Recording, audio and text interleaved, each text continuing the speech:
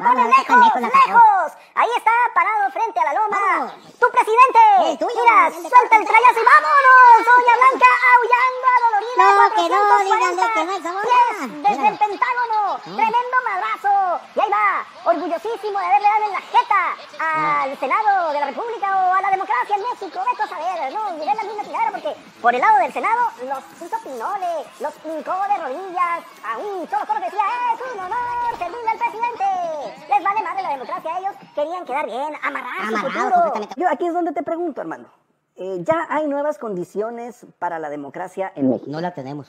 ¿Qué consecuencias podemos esperar? A ver, Una democracia dividida. nuevas condiciones. No tenemos condiciones. ¿no? Nuevas condiciones a partir de esta legislación.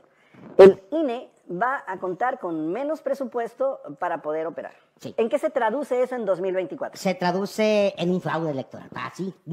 Mira qué clase de curva, una curva profunda y larga. Ahí se prepara mi gobernador, la piensa mucho, pero finalmente se decide y suelta un tenedor que deja viendo visiones a Jiménez Espirú, a Claudia Pavlovich y a todos aquellos que metieron la mano en la carretera 15 con las curvas de Quijano, curva pinches de curvas malditas, como esa, mira cuándo Nunca, nunca, le Nunca la terminaron, bueno, hasta ahora. Eh, una obra muy necesaria para Nogales es la de la reubicación de las vías del tren Del que tren. parten a la ciudad en dos, provocan un caos eh, prácticamente de manera diaria y con ese caos también ha habido pérdidas humanas, ¿no? Este, entonces, eh, un, un gran, una gran decisión por parte del gobierno eh, o la gestión del gobernador Durazo con el gobierno federal.